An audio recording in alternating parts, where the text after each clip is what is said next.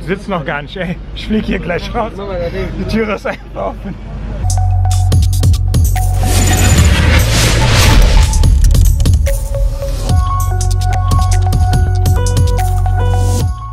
Geht ab, Freunde? Herzlich willkommen zu einem neuen Stadion-Vlog. Obwohl wir noch nicht im Stadion sind, wir sind am Flughafen und ihr seht es oben.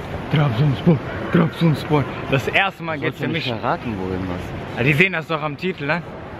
Da steht doch Trabzonspor-Vlog. Ja, okay. Aber wir wissen selber noch nicht, ob Trabzon Meister wird oder nicht. Wir sind jetzt eh schon zu spät dran. Wir beeilen uns und dann erzähle ich euch, warum wir überhaupt nach Trabzon fliegen. Wir sind einer der letzten Mal wieder, ne? Engin immer. Da steht Istanbul, aber ich dachte, wir fliegen nach Trabzon. Dachte ich auch, müssen wir ganz schnell ändern, ne? Was ist das?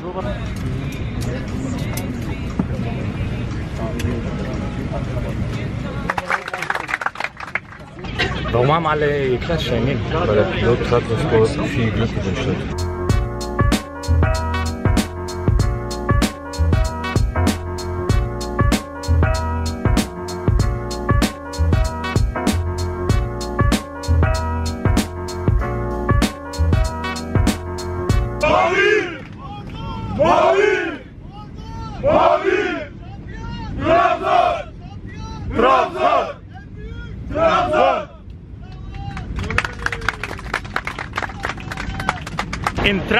endlich angekommen.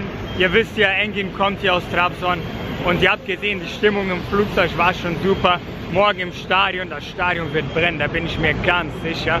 Ich erzähle euch mal gleich ein bisschen den Hintergrund, damit ihr auch versteht, warum wir überhaupt hier sind. Wir fahren jetzt direkt zum Training, wir nehmen unsere Koffer mit, denn, Freunde, der Hintergrund ist, Trabzonspor war seit wie lange Engin? Wann waren die das letzte Mal Meister? Meine 37 oder 38 Jahre, 38 Jahre. Also fast 40 Jahre haben sie keine Meisterschaft gewonnen. Meistens geht ja die Meisterschaft an Besiktas oder an Galatasaray, Fenerbahce. Aber für Trabzon, ich spüre das jetzt schon, davon abgesehen, dass es hier wunderschön ist, direkt am Meer mit Bergen.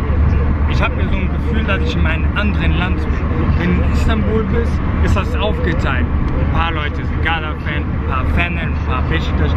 Aber hier sind ohne Ausnahme, hier sind alle Trabzon-Fan. Ne? So, hier gibt es bestimmt keinen, der irgendwie mit Gala- oder Fener-Trikot rumläuft. Und das ist so, man spürt das hier schon in der Luft. Ne?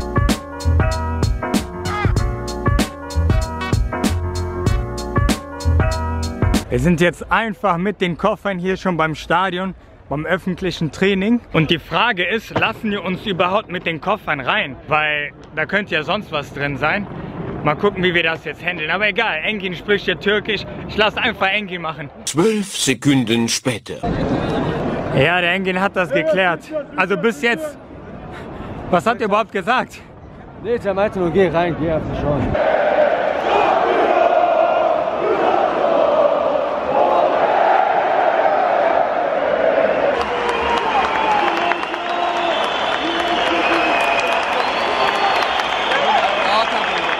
Das ist nur das öffentliche Training. Hier ist schon mehr los als in manchen Bundesliga-Stadien. Das ist einfach nur krank. Freunde, welches Trikot soll ich mir holen? Ich glaube das klassische, ne? Ich finde alle cool, auch das hier, so ein Babyblau. Aber das klassische, das hat schon was. In Engins Größe gibt es das Trikot noch, steht dir sehr gut, Bruder. Aber nicht in meiner Größe, deswegen nehme ich das hier. Nächsten Tag. Günaydin, Freunde. Gestern war es ein bisschen zu spät. Ihr habt gesehen, wir haben uns noch Trikots gekauft und dann waren wir einfach Knockout. Super lustig. Irgendwie lande ich immer in dem Hotel, wo auch die Spieler sind. Antalya Spor wohnt einfach im selben Hotel, in dem wir auch wohnen. Engin und ich sind jetzt ready. Ich habe schon das neue Trikot an. Engin hat sein Trikot auch an. Wir gehen jetzt in die Innenstadt, essen dort was und dann gehen wir euch schon Richtung Stadion. Sind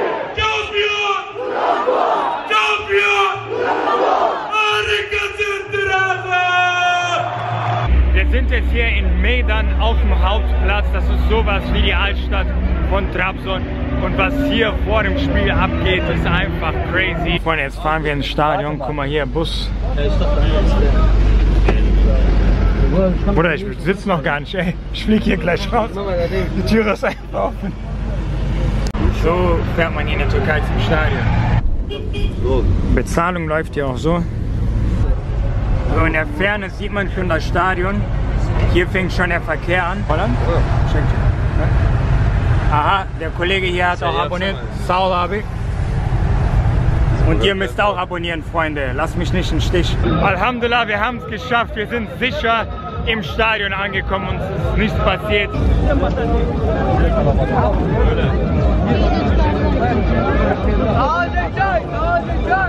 Jetzt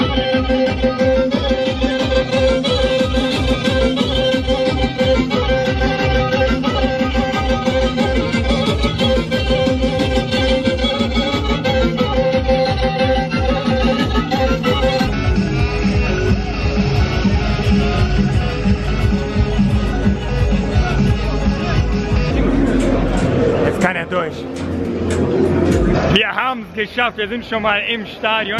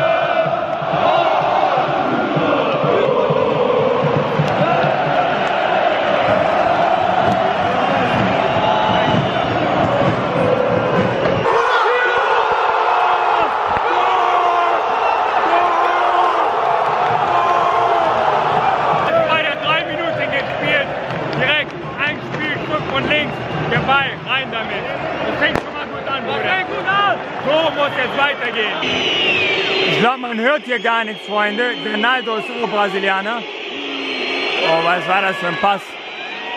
Mal gucken, was die machen werden. Ah, easy für den Torwart.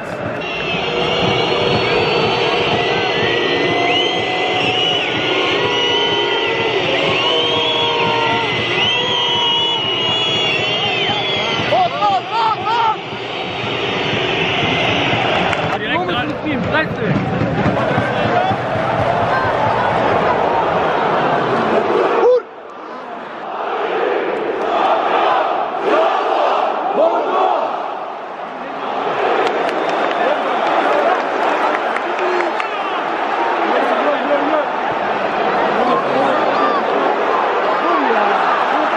Ah, schieß. Also Stimmung ist hier 11 von 10. Spiel würde ich sagen ist aktuell 7 von 10. Der Typ hier, der heißt Naldo und der sieht auch aus und spielt ein bisschen wie der Naldo, der bei Bremen und Schalke war. Eigentlich ein sehr, sehr guter Verteidiger, so ein starker, schneller Innenverteidiger.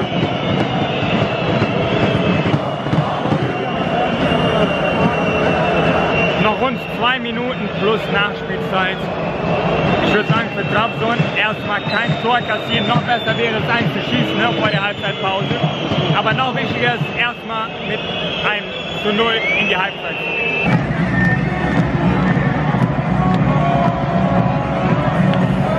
Das, was mir hier aufgefallen ist, das ganze Spiel ist eine Party. Anders als in anderen Stadien wird die ganze Zeit gesungen, es wird getanzt, man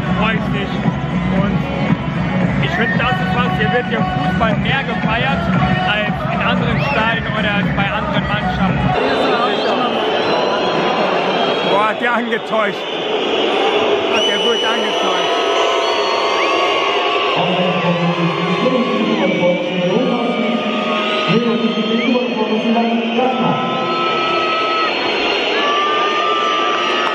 Ah, einfach 1 zu 1 gerade. Boah, der hat Trabzon sehr, sehr schlecht verteidigt. super schlecht, unglaublich. Was war da los? Ne? Wie kann man so billig verteidigen?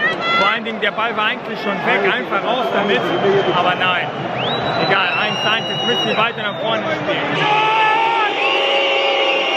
Jetzt auch noch Elfmeter für Antalya, ich kann es nicht glauben.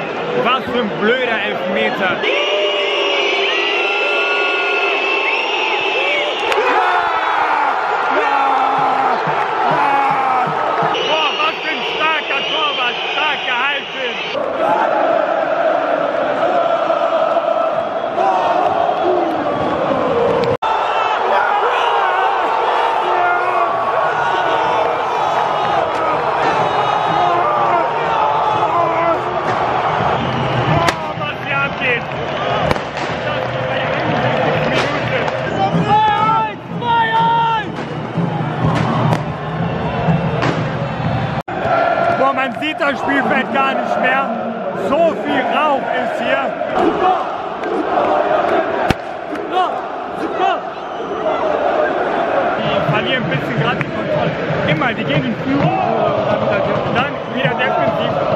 Geben die das Spiel ab. Nein, nein, nein. Nein, nein, nein. Ey, Abseits! Abseits!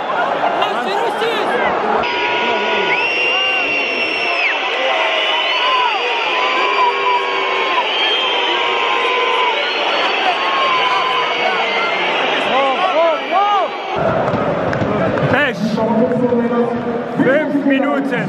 Fünf Minuten kein Tor kassieren und Trabzon ist Meister. Schlägerei kurz vorm Spielschluss.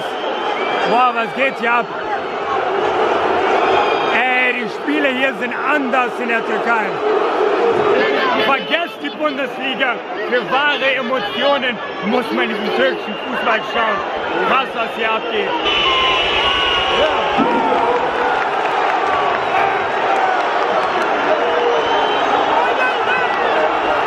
Nein! Nein! Nein! Ey!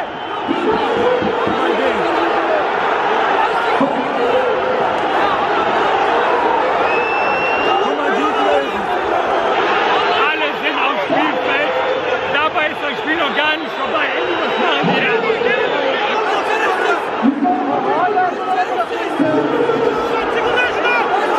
Das Ist, wenn Antalya sagt, die kommen nicht zurück wegen Sicherheitsgefahr und so, kann das Spiel sogar gegen Trabzon entschieden werden. Deswegen, äh, so dumm die Fans, einfach nur noch eine Minute warten und das Spiel ist vorbei, aber nein, das ist echt nicht mehr normal.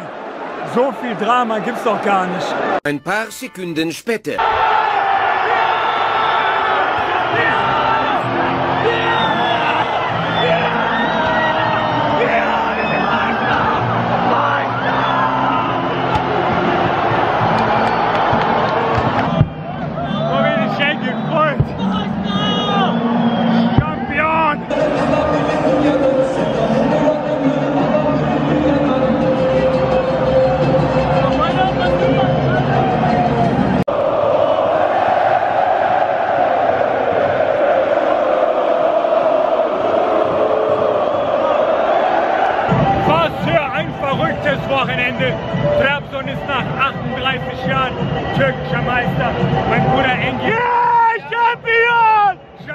Genau so ist es. Trabzon hat es verdient. Bruder, die Reise hierher hat sich gelohnt. Ne? Wir haben so viel Geld ausgegeben, aber jeder Cent. die längsten fünf Minuten jemals Und dann noch so dramatisch, ne? Typisch Trabzon. Danke fürs Einschalten. Schaut bei Engin vorbei. Meine Stimme ist jetzt weg. Lasst ein Like und ein Abo da, falls ihr das noch nicht